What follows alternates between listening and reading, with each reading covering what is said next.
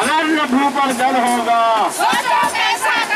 क्षेत्र में प्रभात फेरी का आयोजन किया गया है।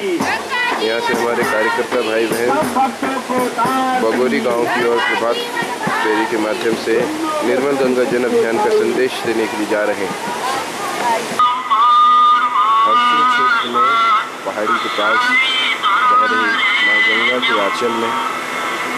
अखिल विश्वव्यापी परिवार के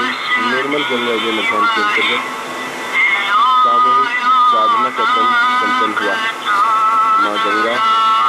मात्र 200 फीट दूरी पर हमारे सभी भाई बहन माँ गंगा की गोद और हिमालय की छाया में जैसा प्रभु जी गुरुदेव का निर्देश उनके ध्यान में होता है